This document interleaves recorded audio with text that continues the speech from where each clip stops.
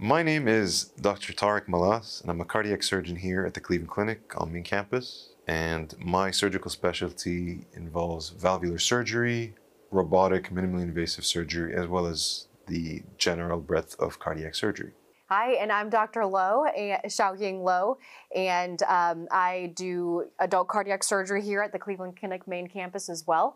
Um, I also do the whole breadth of adult cardiac surgery and particularly have interest in valve surgery and aortic surgery. Today we're going to talk about the basics of valvular surgery. It's a complex topic and many of you have questions about what involves what are the important factors about valvular surgery? So I'm just going to start with a basic overview of what we do in valvular surgery. But prior to that, we're going to talk about some anatomy. Uh, so I'm going to give you a discussion about the heart and the types of valves involved. So the heart has four different valves. And the way the heart is made is it's like a circuit. We have the right side and the left side. And like a circuit, it go, the blood goes through the right side and then through the left side. And I'll explain what that means from an anatomical point of view. When we talk about the right side, we have blood returning from the whole body and it comes back to the right side. And the right side receives that blood. And the important valves on the right side are the tricuspid and the pulmonic valves. And these valves are very important in preventing backflow of blood so that everything keeps moving forward. So the right side pumps blood to the lungs so that the, the blood can be oxygenated, so that your body and your tissues have enough oxygen to survive. Once the blood reaches the lungs and is oxygenated, then it comes back to the left side of the heart. And those two valves there are the mitral valve and the aortic valve. And on the left side of the heart, the blood goes through the mitral valve first and then is pumped through the ventricles and out your aorta. And the aorta is the main tube, it's the main artery that comes out of the heart that provides blood supply to the rest of your body. And once it goes through all your body and oxygenates your tissues, it goes back to the right side, like a circuit. Yeah, it's really a beautiful dynamic machine and uh, process, um, and that was very eloquently done. It felt like I was a red blood cell going through the, the entire circuit.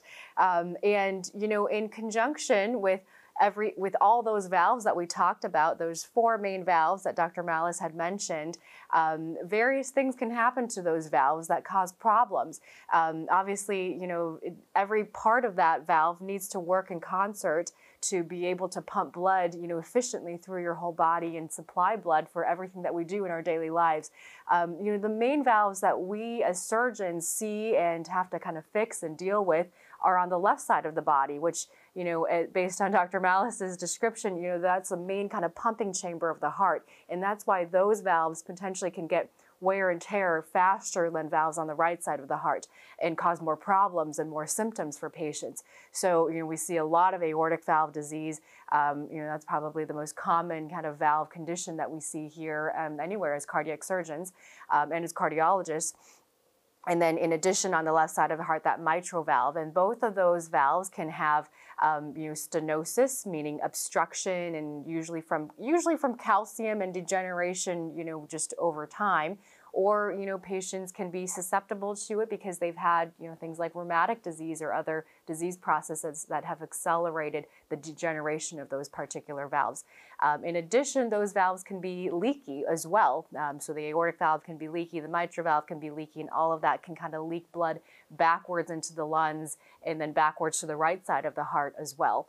Um, you know, on the right side of the heart, you've got your tricuspid valve and your pulmonic valve that we talk about. And, you know, typically we don't see as much pulmonic valve disease unless, you know, it, it more of those affect kind of congenital patients or patients who are um, were born with certain conditions that affect that pulmonic valve. Um, but it can have problems as well, and we can do pulmonic replacements and repairs as well. Um, and then the tricuspid valve, the valve in, mainly on the right side of the heart, that's in between the pumping chamber, sorry, the, the right atrium and the right ventricle, um, and controls kind of the outflow in, on that right side of the heart. That valve can also, you know, in rare instances, have stenosis or blockage primarily it's a kind of a regurgitant valve that can cause problems.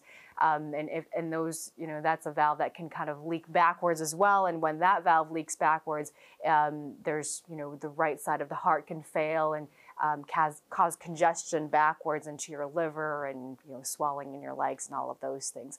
So those are kind of the main ways that we see these valves manifest in terms of disease states. Yeah.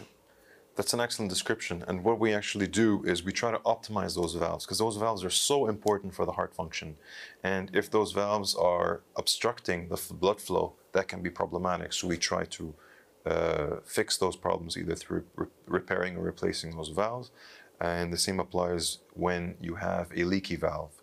The problem with a leaky valve is when your blood is trying to push, when your heart's trying to push blood forward, a lot of that blood comes back to your heart, and we try to prevent that by either repairing or replacing the valve.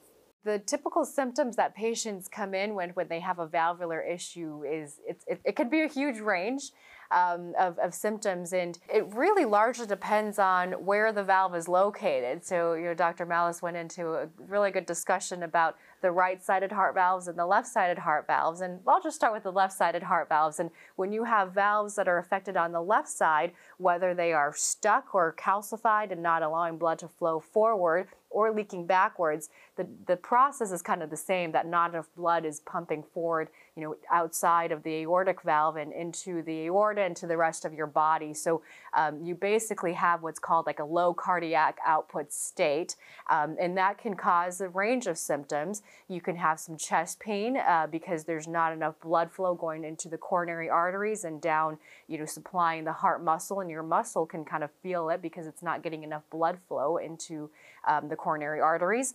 Um, you can, you know, for the aortic valve in particular, because it's a kind of a low cardiac output state, if you're not getting enough blood out of that particular valve, uh, patients can present with dizziness and lightheadedness. Um, they can pass out. Um, and, you know, if that valve becomes leaky backwards, um, every valve on the left side of the heart, if it goes backwards, it goes into your lungs. And so your lungs can get flooded with fluid as well. So patients can be really short of breath over time. Um, they can be dyspneic with exertion, um, and they can get really tired easily. You know, some patients who have aortic valve or mitral valve problems, they just say that they just can't do the same things that they were able to do uh, beforehand. And it's a progressive process, so they just notice it over time. They just can't climb up that hill as easily as before, not able to ride their bike as before um, and, and just don't feel like they have the same energy and can't do the things that they want to do in their lives. Um, and that's really, you know, a big, big, you know, thing that people come in with that I hear all the time, you know, especially when we evaluate patients with valves on the left side of the heart um, and heart failure over time. I think that's the you know the symptoms of heart failure and their heart just not able to kind of pump the same way that they used to. Yeah. That's an excellent point. And a lot of these disease processes are, are uh, dynamic and they'll change with time and they'll progress to become worse and worse. So initially symptoms may be mild, but then after that, with time, they do progress. And that's when most patients go see their doctors to say, hey, what's going on? And let me evaluate what's going on. Uh, the same thing on the right side as well. You do have patients who can present either with fatigue or sometimes that backflow of blood can actually pool in certain parts of the body, like the legs you can have some swelling in your legs. And it can sometimes present as well with uh, what we call arrhythmias. Arrhythmias are irregular heartbeats, and sometimes that can precipitate those irregular heartbeats because the heart is, you know, full of volume or full of blood that it can't push forward, and sometimes that can cause some palpitations or some chest tightness as well. Uh, so that's why it's important to discuss these. If you ever have any of these symptoms, to discuss this with your cardiologist or your cardiac surgeon, and it's important to see a team that has a lot of expertise. And uh, this is something that we do very well here at the Cleveland Clinic.